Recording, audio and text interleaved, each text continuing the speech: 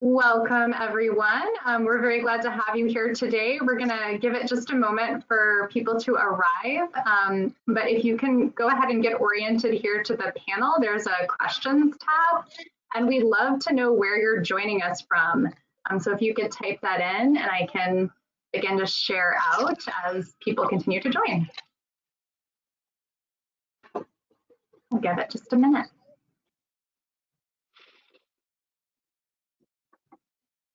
Got Key Largo, Florida, Kansas City, but she's moving to Chicago next week. Exciting. They still live in Chicago. Dayton, Ohio, Utah, Well, great. Um, I know people will continue to join us and you can let us know in the questions tab where you're joining us from, but I wanted to go ahead and get started. Um, I am Kelly Haran and I'm a member of our programs team here at Guidepost Montessori. And I'm personally really looking forward to this topic today. Um, as a Montessori elementary educator, um, I know I've supported dozens of students with attention challenges and sensory processing difficulties and students on the autism spectrum and children with other developmental challenges, as well as typically developing children. Um, but I'm very grateful to have these three experts join us today um, to help provide more tools and understanding for parents and teachers and support staff um, who are helping to navigate this and seeking resources. So I first just wanted to go over a couple of housekeeping items. I always like to let people know that we will be recording this um, just so that you're aware and also so that you can um, revisit it later or share it if you would like. It will be made available on the Guidepost Montessori YouTube channel. Um, if you have questions as our guests are speaking, and I, I hope that you do because we've allotted about half our time here to questions, um, if you would enter them in the questions tab that is in the panel um, over there on the right, or at least it is on my screen and we will make sure that we have time to answer them. And in the meantime, if you want to go ahead and find that if you haven't already, and you can let us know where you are joining us from. So um, I just wanted to, to go ahead and introduce our, our guest today from the Montessori Medical Partnership for Inclusion, MMPI. We're joined by Catherine Massie and Barbara Laborsky and Michelle Lane. Oh gosh. Ramapal. Thank you. I even asked beforehand and then I, I, I stumbled there. Um, no worries. Catherine has been studying and researching Montessori education, special education, and the powerful impact of combining the two. Um, she received her Montessori diploma from Bergamo, Italy, and has a master's in teaching elementary and special education. Um, she also has experience as a Montessori mom of four um, and as an Orff music teacher, a Montessori teacher, a dyslexia tutor, um, and a Montessori school director. Um, Catherine was a founder of two, um, including the very first Montessori public charter school in Maryland. Um, and she has traveled internationally and presented extensively advocating for inclusive Montessori um, schools through the integrated application of scientific and medical pedagogy. And we will next hear from Barbara. Um, Catherine's going to be sort of um, going to be starting us off. Barbara is a period, pediatric, pardon me, occupational therapist with over 25 years of experience um, as a developmental practitioner, uh, and she is also a Montessori mom of 17 years. Um, sorry, 17 years as a practitioner, also a Montessori mom. Um, she sees a strong link between occupational therapy and Montessori education. And after many years of providing workshops and consultations at Montessori schools, uh, Barbara's work has become focused on inclusion in Montessori. And she has also presented internationally at the Montessori World Congress on these topics um, and also addressing the needs of children with attention difficulties and the benefits of multidisciplinary collaboration in a Montessori environment. And then finally, we have Professor Lane Brahmapav, She's the founder of the Montessori Applied Behavioral Analysis Therapy Program for Children with Autism. Um, she received the Premier's Award from the Government of Ontario in 2005 for this unique program blend. And she has lectured and been a keynote speaker in various cities around the world. She's a published writer and she co-chairs the advisory board for MMPI with Dr. Joyce Pickering. Um, she is a professor for the Faculty of Applied Health and Community Studies at Sheridan College. Um, and she also has a Master's of Health Studies and an AMS Early Childhood credential. Um, she is additionally a registered early childhood educator in Ontario and has her certification in cognitive behavior therapy for children and youth. So I'm going to turn things over to Catherine now to get us started, um, but we look forward to hearing from all of you in just a moment. Thank you, Kelly, for your kind words of introduction. Uh, Michelle, Barbara, and I are very happy to be here online with all of you to discuss helping kids develop their ability to attend. And I just, I just want to start out by acknowledging all of you parents and teachers who've had your world turned upside down by COVID-19 about, you know, how you've had to, change rules, collaborate more. Your parents have had to become home teachers. Teachers have become virtual 2D teachers and parent coaches. And we've all been pushed in new ways we never would have imagined. And hopefully it's um, making us all stronger. But I want to acknowledge everybody here. So I'm going to talk uh, to start out with um, about attention uh, more uh, generally, and then Barbara and Michelle will give more specific uh, information tools uh, for working with particular children at home or at school.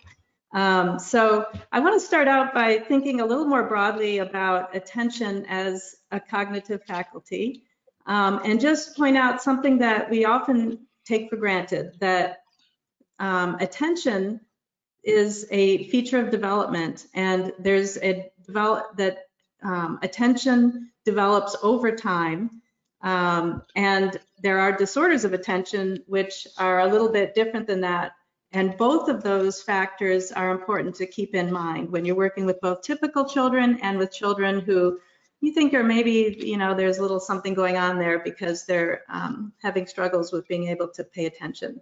So, um, but it's really important to remember that attention is not just a thing that happens. It's a developmental process and it's influenced by um, genetics and it's influenced uh, a lot by the environment. And it's really a foundational part of the Montessori educational system. Everything is based on attention in Montessori. So, um, and then we'll talk, I'll talk a little bit more about um, the, when, when something's going a little bit off the typical path and you may be thinking about a disorder of attention.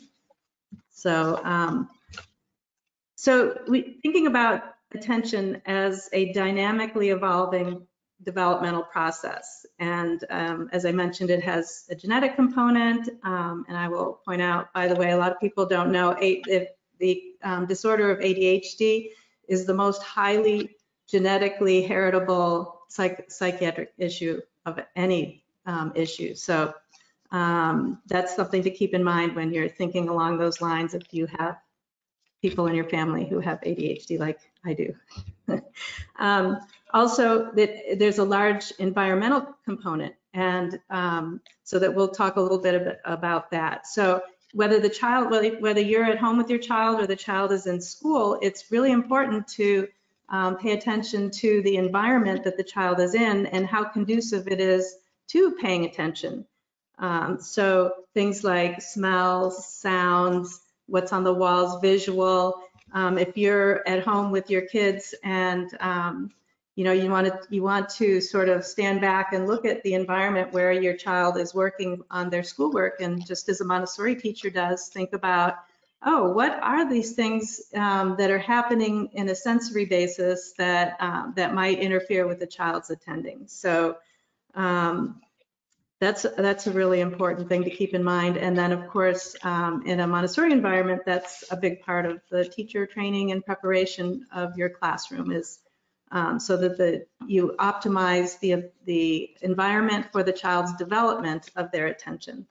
So I want to share a quote with you from Dr. Montessori that I find really helpful um, in understanding how the the value and importance she placed on intention attention. And this is from the California lectures of um, Maria Montessori, 1915. The fact on which it is possible to establish my system is the psychologic fact of the attention of the child. intensively chained to any exterior object or fact, which proves in the child a spontaneous, although complex activity of its entire little personality. When you have solved the problem of controlling the attention of the child, you have solved the entire problem of his or her education. So um, she was, she worked initially, as probably all of you know, with uh, children with special needs. Um, and so she understood that if she couldn't get the attention of the children focused, she wasn't able to teach anything.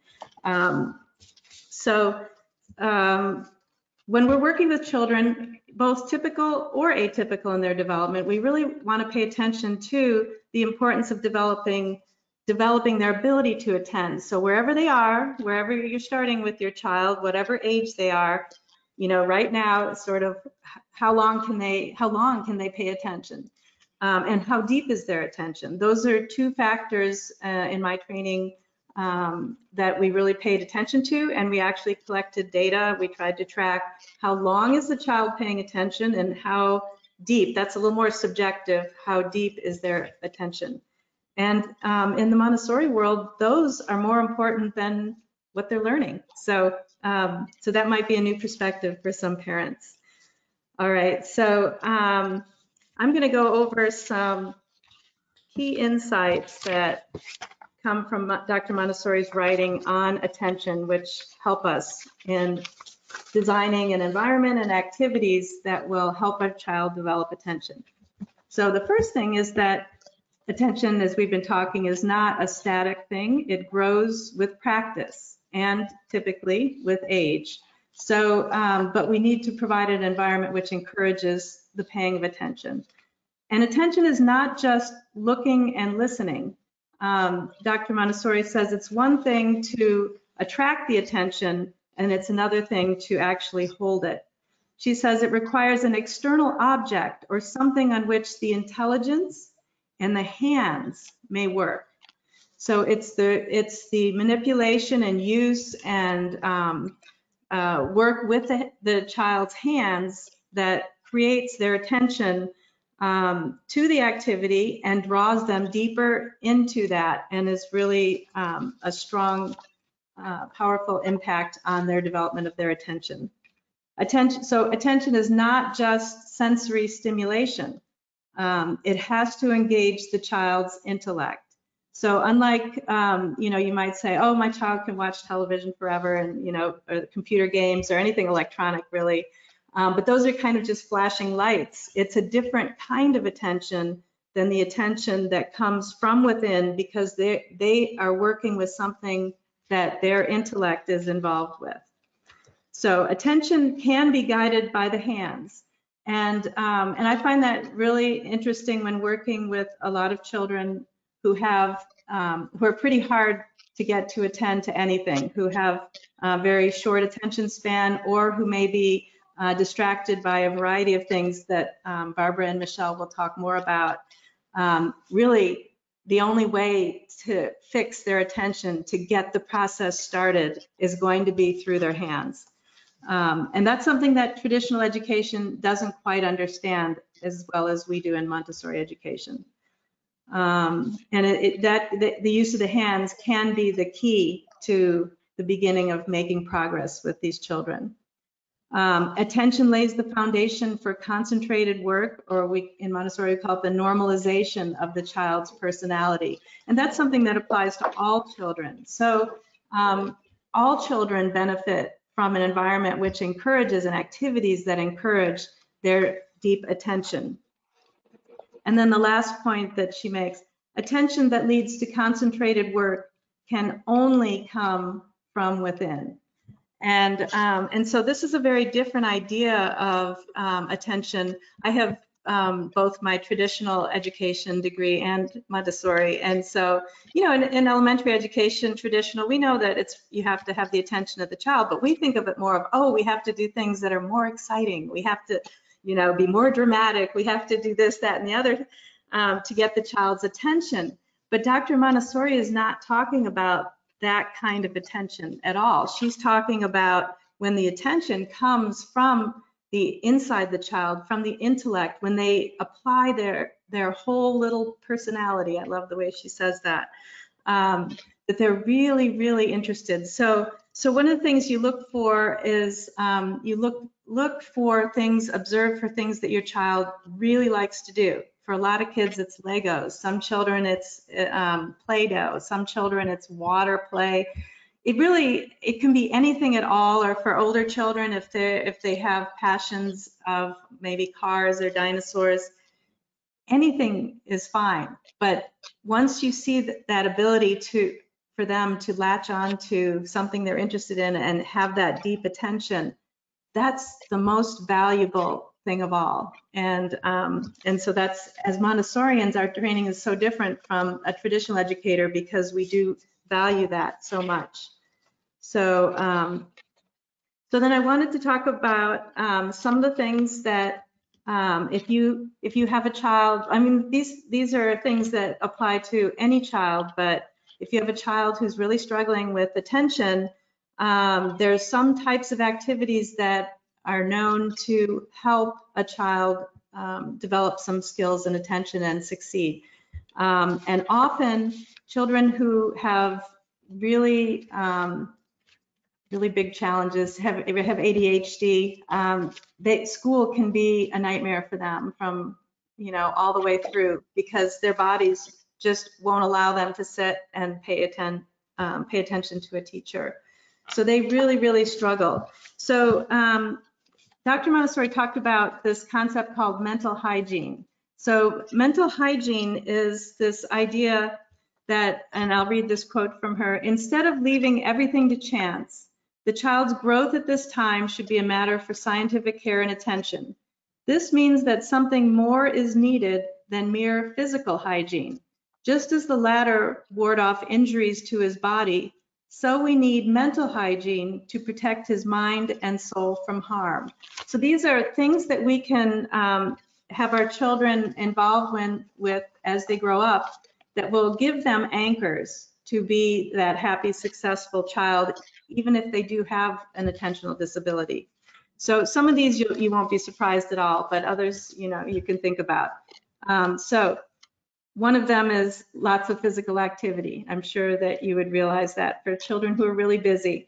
Um, musical training, skill development in music and the arts, that can end up being where they hang their hat in life. That's their um, ticket to fame. A proper diet is super important. Good sleep habits, really important. Uh, time in nature for mindfulness, meditation, teaching, explicit teaching of self-regulation and social skills. And also, um, as they get older and up to the maybe adolescent level, providing an executive function coach.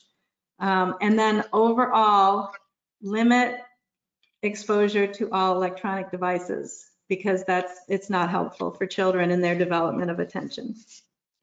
So I think my time is probably up.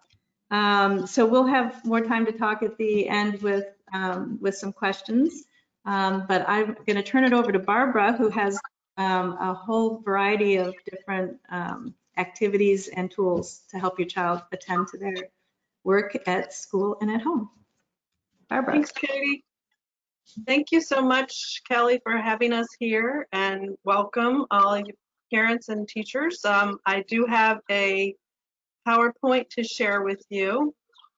So I just thought I would uh, give you a little bit of a deeper understanding of what is occupational therapy.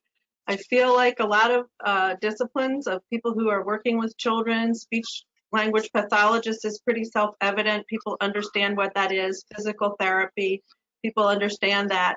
But I feel like occupational therapy is very not not well understood. So I just put together this little PowerPoint to give you a few um, tips about what what it is that we do. So um, okay, let's see. So can I turn it, or you you have to move it? Okay. So um, mainly we're focused on developing, restoring, and maintaining um, the child, the person's ability to be successful in their occupations. And so when we're talking about the word occupations, we're not talking about work. We're talking about the roles that people play. You know, are you a daughter? Are you a teacher? Um, are you a mother? Um, are you a painter? Are you a knitter? You know, all of those things are occupations.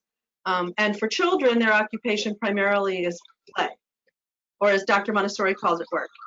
So um, we have a lot of training in medicine and psychology, and we're very holistic and creative thinkers. Okay. So, oh, you know, you have to hit it twice. I don't know why it has some of these separated things, or and again maybe. So what we're trying to do is blend scientific and medical knowledge with an understanding of the person. So we look at gross and fine motor skills, we look at visual skills. You have to hit it again, please. Um, anatomy and physiology of all the body systems, neuroanatomy and kinesiology, and how these body systems are interdependent. I think there's one more. So human development across the lifespan. So we're really looking kind of, so we sort of break it down and look at all these parts and then trying to see how everything is interdependent. So I wanted to talk for a minute about sensory integration, which is um, a specialty area within occupational therapy. So not all OTs are pediatric OTs and not all pediatric OTs are sensory integration specialists. But um, in any event, I want you to understand a little bit about it. So what we're talking about is the ability to take in information from all of the senses, efficiently respond with an adaptive, what they call an adaptive response. So we're talking about those five senses that everybody always talks about, but also the vestibular sense, which is in your ear and is giving your brain information about the position of your body in space, the position of your head in space, and are you moving what direction, how fast, is it dangerous, like are you falling? Um, the proprioceptive system, which is the joint and muscle sense. So that is giving your um, brain information about the position of your body and if your body's moving and what direction. And then interoception, which is a sort of newer area that they've been doing a lot of research on, and it has to do with the internal sense sensory, like, am I hungry? Am I tired? Do I need to pee? You know, am I, do I feel like I'm getting a cold? All of those things. And I feel like a lot of our kiddos who are having trouble attaining um, the potty training milestones, you know, at the right time, they aren't they aren't understanding those internal interoceptive messages and they're not um, realizing maybe that even that they have to go or they're not you know understanding my the sensation of my bladder is full or how to control the sphincter muscles and they just um, are having inefficient processing of interoceptive signals. So difficulties with processing and also modulating meaning kind of staying in the middle um, really disrupts self-regulation and attention and also executive functions. So having that integration, I mean, I actually sometimes think maybe this diagram should be the other way around, but foundationally, one needs integration of all of these senses in order to regulate, and one needs regulation in order to attend. So it's really the basis of, of being able to learn. So in sensory integration terminology, when we talk about top down versus bottom up, if you have a child who is very dysregulated and very out of control and very inattentive because of that, you want to think about what is a top down type of a message and what is a bottom up type of an intervention. So top down would be sit down and pay attention. And we all know how well that works. Like, not at all. So, bottom up means you're going to be trying to allow the child to engage in some kind of activity, sensory based activity, that will then travel through the body, up the spinal column, then into the brain. So that's bottom up, and that will help the child regulate and attend better. So, and just for your information, that comes from the ALERT program. Um, so providing proprioceptive input is always a great way to help children get calm and get organized. So what that means is um, activating the proprioceptive receptors, which are located in the joints and the muscles, and using those muscles against resistance. So it could be oral, like chomping on something crunchy, um, or it also could be compression or traction. So you could hang from a, you know, monkey bars or jumping on a trampoline where those joints are getting a lot of compression. So a big thing for parents and teachers to think about is creating opportunities for proprioceptive input. Playground play is great, digging in the garden, watering um, things, as well as water play, swimming, carrying laundry or groceries, a lot of household um, you know, activities that you can engage them in helping you with are going to be really rich in proprioception. So here are some examples of line work that we've done with kids at Montessori schools, but you can certainly put down a piece of masking tape and get out your rolling pin and off they go. If you put a piece of tape around your rolling pin, you can get them to try to match up the rolling pin tape with the tape on the floor. And then this little gal on the right is using a weighted ball and she's just kind of crawling along and trying to keep the ball on the line. Anything you do with rubber bands, is going to give a lot of, you know, very fine motor, but a lot of resistance, and that's proprioceptive input. So in this particular um, whisking activity, I added a little bit of weight. It's not really something parents should do without oversight from their OT, but um, in general, they could do something like carrying a um, heavy stuffed animal would, would be sort of a similar thing. And that they, you can do that obviously without the oversight of an OT because the child can always put it down when they're done. And pulling, pushing, hanging from ropes, so playground, um, playing tug of war, being in a tire swing, working on all fours is going to do a lot to help build shoulder stability. Using a hammer and um, you know banging golf tees into a you know pie tin full of clay or whatever. So you can set something like that up at home. And creating a wall push-up station. So very simple. They can um, either do that by themselves. If you do that side by side with another child, then that will help them regulate and kind of co-regulate with the other child. So I believe, oh, I know that, I just wanted to point out, that was my last slide. I wanted to just point out in the handouts section, um, you can go forward, Kelly, that um, there's this tips for parent teachers, which is a little ebook that I wrote for parents who are home being teachers. Um, and it's a lot of sensory ideas and activities for you to use at home, and you can download it. Um, I'm not sure, Kelly, you have to tell them where they, how they do that. Yeah, there's a little tab that says handouts, um, and there are two there. One of them is the ebook that Barbara mentioned, and the other is, I think, your August course um, handout. So that's all I have for a little introduction, and we can certainly talk more with questions after, and I'm going to turn it over to Michelle. All right. Thank you. Thank you, Kelly, for having us. I'm so happy to share um, our backgrounds and to we're always i know for myself i'm always happy to learn from others as well um, so kelly has also shared a, a little powerpoint uh, that i put together so um, so focusing on attention and autism so you can turn the, the next slide please so when you look at the um, the diagnosis, uh, the diagnostic criteria for autism, um, we do see that there is an issue around attention. So some people don't necessarily see that in autism or, or recognize it.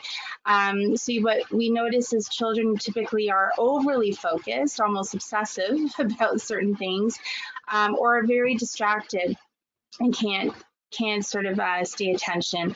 Um, so it's common in autism as well as having hyperactive behavior. So that's part of the DSM-5, which is um, how you diagnose autism spectrum. Next slide. Um, so one of the core deficits is joint attention. So what we're doing, if we were all together in a lecture hall, for example, and the PowerPoint was up on the podium, uh, above the podium, uh, we would look at the PowerPoint and then look at each other and look back. Um, that's what's considered joint attention. And um, individuals with uh, on the spectrum, typically research has shown that have a real deficit in this area, so we can't expect it from our kids. Um, so the eye contact, there are a lot of children that are paying attention to you, but they're not giving you the eye contact. That that's another step that is really challenging. So oftentimes when we're working with children, um, what we would typically think as typically developing individuals um, that if you're giving the eye contact, that means you're paying attention, does not hold true uh, for children on the autism spectrum. Next slide, please. Um, then the executive functions, I think uh, Catherine was speaking to this earlier. Um, so that's part of the brain that works on problem solving. And so this is an area um, that is really challenging for a lot of children on the spectrum. Again, it's, it's a spectrum. So, you know, there are no two children alike. so that's really important. Um, so that part of the brain um, can be also linked to being impulsive. It's impulsive behaviors, and you'll see some children being very impulsive. So that's again um, part of why I'm sharing this. Is it's part of having autism, and we have to understand that as educators, as parents, that this is our child, you know, and we have to accept and understand who they are. Next slide, please. Um, so also the behaviors, repetitive behaviors, rigid, meaning, you know, not being able to go from one thing to the next very easily or, or at all sometimes um, can be really challenging to help a child maintain attention, especially if you're trying to teach new skills. Next slide, please. Um, so also autism and ADHD for a long time, um, these two, before the DSM-5 came, came out um, in the DSM-4, they said that these two disorders could not co-occur, but they actually can we've seen always a similarity and so now they are they can co-occur. Um, so it, eh, before the new DSM the 2013, the DSM-5 came out. It's not new anymore, but before it came out, um, lack of attending, uh, which was a symptom of ADHD, was seen in about 50% of children that were previously uh, diagnosed with autism uh, in the previous diagnostic manual. Next slide, please. So what does this mean?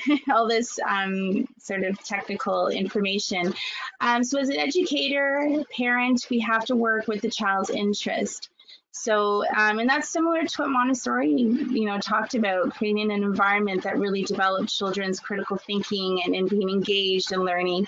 And I will say that, um, you know, as an early childhood educator registered in Ontario and from from Canada, um, that is something that we also preach that our children be engaged. It's not about you know how flashy can an activity be it's how engaged how focused can children get um, so typically children do have um, and children on the autism spectrum have difficulty focusing on activities that are not intrinsic. And so Montessori, that's what we want. We want our kids to be intrinsically motivated, not externally motivated.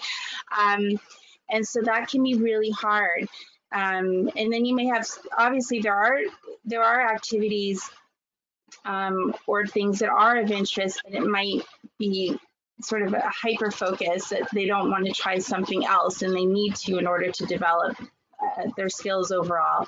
So things that we want to do is just try to look at our classrooms or as a parent look at our, our environment what are we working with our kids and make sure that there are things that are going to compel our kids to be interested next slide please so this is something uh, that was taken from a typical choice board, and I'll just show what a regular choice board looks like. It doesn't have any pictures, but you can put different items with pictures on here and a child would choose. Um, typically, and I say typically again because autism is a spectrum disorder, so no two, kids are alike, um, but typically children on the autism spectrum are visual learners. And so I just created um, a, sort of a binder for my kids who were in Montessori um, to be able to have a choice board essentially and then create a schedule. And once they were done, you know, a certain activity, you would take it off and put it in in the binder as an all done. I'm finished with that, and it helps to support that idea that things are moving ahead. It appeals to um, the diagnosis of routine, of rigid, almost rigidness that, oh, well, we're going to do this, so you're going to do this activity and then this activity, and then you're done. And so we're appealing to that in terms of a teaching model. Next slide, please. And then you have the same concept of a first then board. So you might say to your child, whether they're at home learning or at school, first you're going to do some chalk drawing, and then you can do the water play, um, you know, or something else. Um, usually the then is something that the child wants to do. It's very um, enticed, and the first thing is what you're trying to make sure that they're they're learning. Next slide, please. Um, so this, uh, I used to have a school, um, it closed in 2010, but it was the first Montessori school for children with autism, which was when I combined um, the Montessori curriculum with applied behavior analysis to create a new type of program. Um, so something that we do typically um, in ABA is figuring out what is going to be reinforcing for the child. We want it to be very positive. And so um, you know, we don't want to use aversives. I know some behaviorists do, but you want it. What, I personally believe in and, and what I preach is about having positive, making the learning a, an enjoyable task, right? The word task in, its, in and of itself may not be the right term, but um, the next slide, please. It shows the, the, this a little better. So we would have, um, so for children, when I had my school, most of our children were nonverbal and were coming to our program because they were on the severe end of the spectrum, so needed a lot of support. You can ask, what do you like? But of course, if you have a child, ask them. you know, if they can answer, tell them what what do you like, or ask their parents. Um, but if you have a child who you're, you're not sure, have a series of items in front of them. If you say, here's a book or here's some bubbles, and they go, no, thank you, that would be rejected, no. Or if they're not even reacting to it, then you would take that off. If they're reaching for certain items, that's an aha, okay, I think we have something here. Um, shows sign of pleasure, protest when taken away. Again, that shows you that it's more something they like a little bit more. Um, and takes again is something that hopefully we think is reinforcing. So then we would have a list of different items see where they rank. So on the right hand side, it has ranks. You'd see which one is the most reinforcing. And so when they do something, you give them a little like you know if if it wasn't intrinsically motivated we want intrinsic motivation but if it wasn't intrinsically motivated then we would use these tools to help develop that next slide please um, this is another example of a visual support. So you would have um, a student who might have pictures. It could be written down depending on the developmental age of the child. But okay, you're going to do these four things, and when they're done, then you get to spend X amount of time on the computer. Again, we are trying to limit screen time, and I know right now during the pandemic that's been very challenging. I'm also a Montessori mom, and we've just been like, well, you're going to get a little more screen time than you used to, but uh, anyways, you do your best as a, as a parent. Um, next slide, please. You can also do this can be problematic. Sometimes they only work for these auction points, uh, like any reinforcer, but there's some kids that they go, oh, if I do these different tasks and I get a certain amount of points, um, it's almost like playing a video game. You collect your coins and I get to get my, you know, whatever it is at the end. Um, I get to go out for pizza or I get something um, is another way. The point of this is to delay that reinforcement so the child isn't getting it immediately all the time. Um, but again, you have to you have to be careful when you're using these these motivators. Next slide. And then there are timers. And as I mentioned before, that children, uh, well, individuals uh, with autism usually are visual learners. So this is a visual timer. You can also get them as a watch. You know, you can get them big in the classroom. We see them a lot in our classrooms here in Toronto, our public schools. Um, so it's just a way to see that the time is passing. You can get some that actually ring, some that don't, depending on the child's um, needs. Next slide, please. Uh, Barbara spoke beautifully about sensory stimulation and um, just that is that is a whole other issue. So we don't want to put in a behavioral plan if the child is struggling um, with it with another issue. So that we want to make sure there's nothing else going on with their body before we would start putting in a behavioral strategy. Next slide, please um, and looking at your space. So maybe there's too much going on. Maybe there's not enough. Some kids need more uh, stimulation to have that self-regulation and to focus, and some kids need a lot less. So you have to know your your child. Next slide, please. Oh yeah, that's it. that's it for me. Thank you. Uh, absolutely. Let's see. I am going to go over here to the questions. I've been so focused on the slides, I haven't even had a chance to look. So I could, um, I could start out, I thought we, each of us would start with a question and then we'll open it up more. Um, so I know we, we just got a, a ton of information and um, it's really hard to, um, to kind of see how to apply all that information right away. But um, so the question I'd like to um, address is, what can I do to support my child's learning at home um, if they have attentional challenges? So if you have a child with ADHD or a child who you have some um, concerns about their attention, what can you do to help them? Um, so one of the things uh, Michelle already talked about was visual schedules.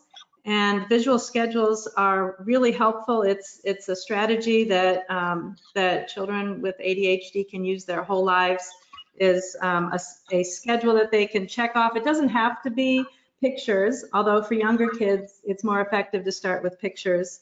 Um, but as they get older, just a written list, you know, we all do our lists. a lot of us do, especially if you have ADHD in your family. Um, but it is it is an organizational stru structure that is outside your body that helps keep your mind ordered. Um, so Dr. Montessori talked about how the order of the environment helps us order our minds. Well, children who have um, ADHD, it's a it's a neurochemical disorder, a difference. They don't have that, and they can't control and keep in order their their minds the same way a typical child can. It's a it's an invisible disability, but it, it really is real. Um, so visual uh, schedules or lists if it doesn't, if you're doing, helping your child do a list, ideally you want to model it first for your child, and then you want to help teach them to develop their own list because they're, they have more ownership of it if they do it themselves. Um, so it, if, if it doesn't seem to be working, try going bigger because sometimes it's, it's a perceptual thing. If you work with a lot of kids with different, all different kinds of differences, you, you find that size makes a big difference on um, how effective an intervention might be. So um, maybe you have a, a, whiteboard easel and you can start out with something large and then over time, by the time they're in high school, maybe their list is this big. but when you first start out, try to find a size and, a, and an organization that the child um, really feels, you know, they, they usually like it. They, they usually like checking off the boxes and it's a pleasant thing. Um, with work plans, this work plan is kind of like the same thing, but a child with attentional challenges is going to need a lot more adult guidance in developing the work plan and then keeping track of it, even where it is. You know, kids they with attentional challenges, they don't even know where their work plan is half the time. So um, that's that's one of those areas where they're going to take a lot more guidance and help and maybe thinking outside the box thinking bigger thinking attached to the wall where it can't be lost. So you got to think a little creatively to, to have a work plan that's going to work for them. Um, and then michelle mentioned timers. I want to show another one that i love. One these are teacher created materials but you can buy them online. They're really big. Uh, they don't make noise and um, visually, I, I find them nicer. They come in all different lengths of time. This is a five minute, but they have one minute, two minute, five minute, 10, 20. So, um, and, and over time, you want to work up their ability to attend for longer. So again, attention is a developmental process and you want to keep track of, well, where are they now? And then keep track of that and see if you can get that to grow um, and lo grow longer. And again, except for electronic like games and movies, you can't count those, but um, any type of activity, if it's art, if it's, you know, anything that they love. Um, and then another really important um, concept in helping children attend to work, if they have um, a school assignment that they need to do and they just, you just can't get them to sit down to do it, sometimes the physical presence of the adult is an anchor for them. So if you sit next to them, and maybe at first you might have to be pretty involved with, you know, keeping them, well, now let's try the next one, or now let's do this, you know, what's next? Um, but gradually you want to fade that away. You want to fade that back. And um, eventually you'll be able to kind of pull out something you need to do on the side. Um, just kind of plan when you, you have work like balancing your checkbook or whatever that not, not screen stuff um, preferably, but you know, something that you can do, something you have to read or even the paper. Once you get them started, you want to fade a little, you want to be able to turn and work on what you're working on. This is my work. I'm going to work on my work while you work on your work. And it's really quite quite an amazing thing that the physical presence of you're you're there, you're like a support for them. You're like a, a blanket on their attention, and you're um, it, it really helps a lot. Uh, you just have to find ways that it's not so time consuming for you. Um, the other thing to always remember is that attention is developmental. So you might have to start out doing some things that you know are not sustainable in your home life or even teachers at school you know that that you can't that child can't have that level of of support by another adult all the time. But if you have your strategies organized and you're teaching skills through those strategies over time you will be able to fade back. Um, and one last thing I want to point out is um, peer support. That's um, really underutilized um, resource in either in a classroom or at home is having um, a child, um, either, well, often older child works better because they have more um, control of, over their their selves, um, but having them help the child, younger child, with their activity or do an activity jointly. And kids love to work with other kids, and um, that's you know well-known uh, fact. And so if you can get another child to be that anchor you know, and it's that's a little trickier because the other children can sometimes not be such a good model, but um, so you have to pick pick wisely when you pick your pairs. But I've seen it um, work amazingly at, at, the school I was director at. We had two little boys who were just all over the place. Kids with ADHD love, they see each other, they recognize themselves in each other, and they can blow up a classroom when they get together. So um, but we found that we took an easel and had each one of them working on the other side so that they could peek around, they could see each other, they knew they were there. And it, it was amazing. It was like a miracle. They both sat there and did their work on the easel. So, um, and again, like Barbara's talking about using your body, um, working on an easel, even if the work is normally not something you would have a child do on an easel, having them either sitting or standing, they're using more of their body, more of their joints. Um, that also can be a strategy to, to affix their attention because their body is more active. Um, uh, one of my daughters who has ADHD, she says it's just torture. She says, you know, I'm like a shark. My brain dies if I'm not moving. and um, so it's it, it really is true that you need to find ways that they can be productive, be lear learning things while they're moving. And um, Barbara also has some great strategies in term related to positioning. Um, I don't know if you had um, those in your PowerPoint, Barbara, but stand a standing work a standing table or work table. So it's high enough so that they can get the proper, you know, their elbows are um, the right height from the table, but they can stand and do their work. You'll find a lot of kids who have attentional challenges, they won't ever sit down for more than two minutes. But if you can have them stand at the table, then they can sometimes work for a very long time. Um, and then in terms of listening, they, you know, walking around the perimeter of a room while they're listening, um, they can they, they can pay attention if their bodies are moving. And it's kind of like Michelle was talking about with the eye contact.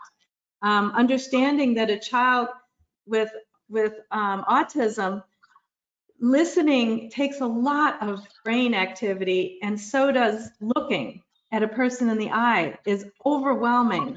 And I have a nephew who said when he, he didn't, he said this as a teenager looking back, you know, he said, you know, I couldn't understand why people were always telling me to look at them and, and while they were talking.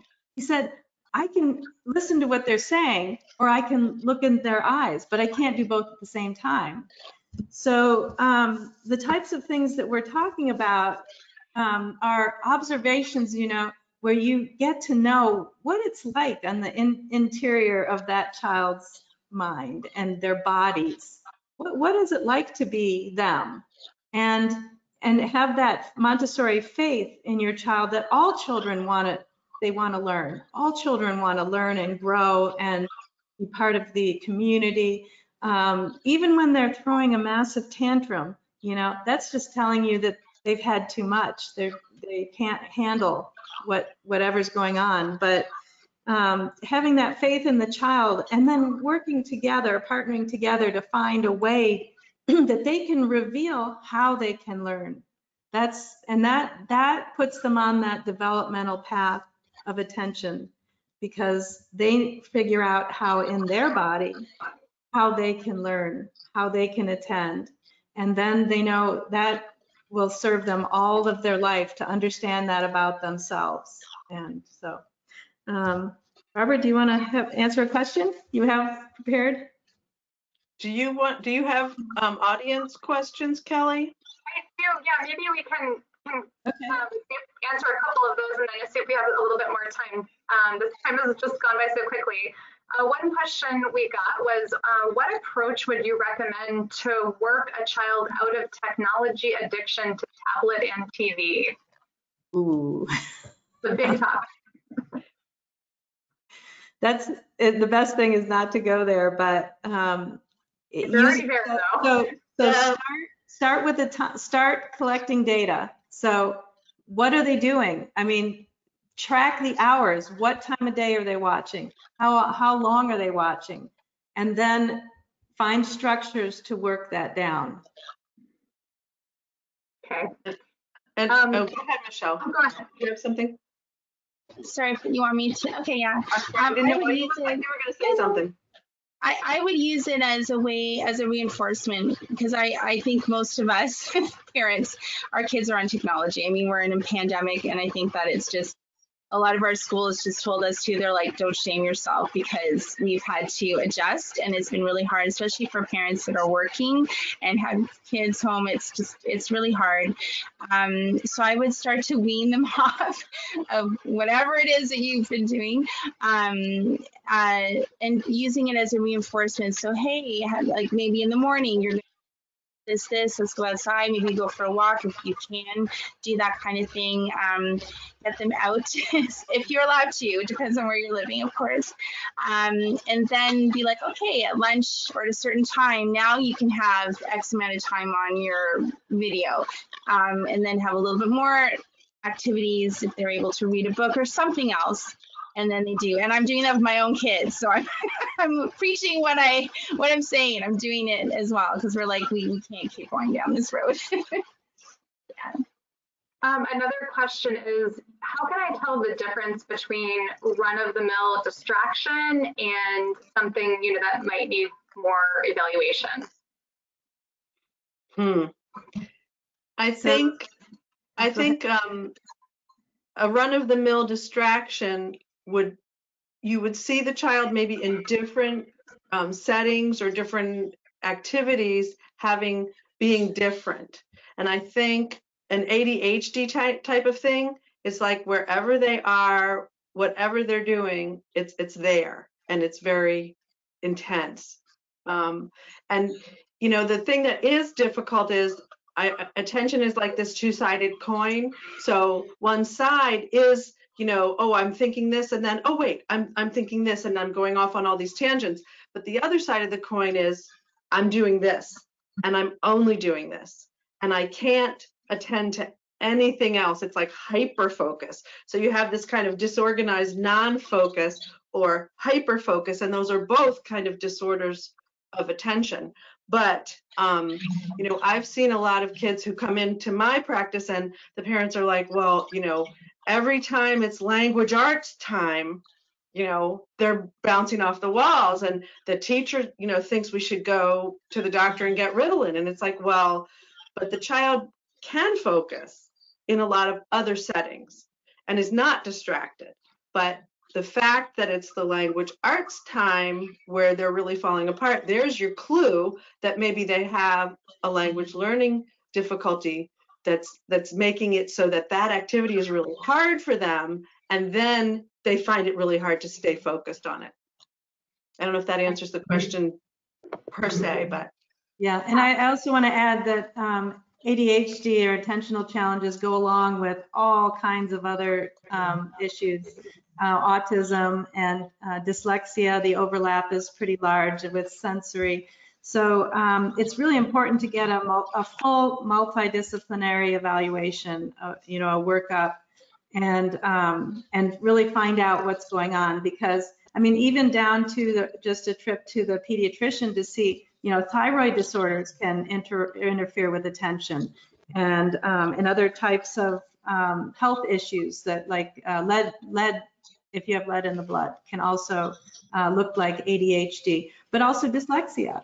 Um, and as Barbara was saying, kids who have learning disabilities, um, they, they look like they can't ever sit down and do paper and pencil work, but there's something going on um, that's different in the way they learn. And so that's a, that's a totally different intervention. Um, but a lot of kids have both. Um, and I, I want to show you this, um, this book is called Cory Stories. It's a kid's book about living with ADHD, and it's a fabulous story for, it's meant for kids, but it's about this little boy who tells in first person, you know, what it's like, how he's always falling off his chair and he doesn't know how it happened, but, you know, and he's always losing things and he talks too close to his friends and, and, and all of his struggles. And then, you know, um, all, it's just it's a fabulous it's a fabulous resource because it is it's very complicated and it's a very it can be very disabling thing for a child to have ADHD but if you address the ADHD and they still have um, dyslexia they're still not going to learn how to read. So um, it's super important for you to know what what is going on. And and in, in um, developmental science today there's they know um, that it, the brain differences and all about them. And they're genetic and they're present, you know, often during pregnancy, they go all the way back and they're part of the child. And once you know what, what your child's um, character is, or characteristics, then you know how to address them. And then the child can help them learn to help themselves. They will have it their, their whole life, so. This might be our last question, um, and just being mindful of the time here. This parent says, um, I have an eight-year-old who was recently diagnosed with ADHD. Are there any alternatives to medication? So um, the uh, you can always try. They always say the best practice is to try um, all the non-medication interventions first. I mean, it's all about trying to see what works for your child. Um, the Shelton School in Texas did a two-year stu uh, study um, called Enhancing Educational Achievement, Reducing the Effects of ADHD Learning Differences with Exercise. So they put um, exercise bikes in the classrooms and the children had to, they had to do it a very specific way because it was an intervention. They had to get up to the right heart rate, you know, but they used, they were taught to use exercise bikes um, as a way of coping with their ADHD. And um, there were some there were some kids who felt they could go off their medicine, but the other kids who just felt that they were even with the medicine, they were a lot more successful and felt better um, with that exercise. But intense exercise is one. Looking at all of those things that um, I had listed off, making sure this the sleep because a child with ADHD often has dysregulated sleep, and then that it can just snowball the impact. Um, looking at Can diet. I add, Katie? Yeah. OT, Yes. try OT. And a definitely. lot, a lot of times kids come to me or parents come to me because they don't want to medicate their kids. And so you, we can create a, a home program that's, you know, that's sort of sensory based and we can maybe get the child, you know, a little bit more on that sort of typical continuum so that they can, they can manage it and not have to take the medications. In, in some cases, they don't ever take the medication. In some cases, we're able to put it off for a number of years. So you're not, you know, if you can wait till to medicate till they're eight instead of when they're starting when they're six, is, you know, as long as you can wait, the, the longer the better. So But it- plug but it- for OT there. Yeah, but it really depends on the child because for some children, I, you know, I've seen some kids in kindergarten who's, who were so severe that they, they weren't safe leaving the school. I mean, they tried, they, we would have to tackle them sometimes to keep them from running out of the school. Um, but we had to, we had to help the parents take the child to the car and put them in because the parent could not control the child once they left the front of the, the front door of the school. And it was, they could get hit by a car and killed. Um, so, you know, and then the other thing to remember about, so some kids absolutely need medication. It's just like getting your insulin if you need it or your treatment for the thyroid. Um, their brain, it's a brain condition where the neurotransmitters are not firing properly and they're not, your brain is not working and they can't help it. So that's a very severe case where they absolutely need it. But the other thing to remember is that medication is not a magic pill in that it solves all the child's problems. So um, if the child is eight years old and they're on medication, the medication could really could really start helping them. But you still have to go back and backfill the social skills that they missed when they were, um, you know, not paying attention, the uh, executive functioning skills. Um, and so you, it's, you, you can't just sort of say, here, take your medicine, now you're all good. They still need a lot of support, but you could be saving their lives too. Also, a child who really needs that medication will find ways of self-medicating um, if they don't get met, uh, proper medication. If you wait till adolescence to try to start that, that often doesn't work. They're very resistant. Um, so they will get in, uh, are at risk for getting into other things. And these are kids like my daughter was into sugar and caffeine. She'd get up in the middle of the night and into the sugar and caffeine, you know, they find ways because that helps them regulate. It's a chemical imbalance in their brain. And so a proper, you know, what I would say is make sure you're seeing somebody who's ex, who has real expertise in the medication um, because it's complicated. But today they have better um, options and they have they track it more carefully. It's much better than 20 years ago. Um, they can they can help a lot better. So Well, thank you so much, the three of you, for joining us today. Um, some of you may also be interested. We're running a webinar next week on reluctant readers and writers, um, same time a week from now on July 7th. Um, and I also had a couple of questions about um, how people can access this recording, and you will be able to find it probably by tomorrow on the Guidepost Montessori YouTube channel.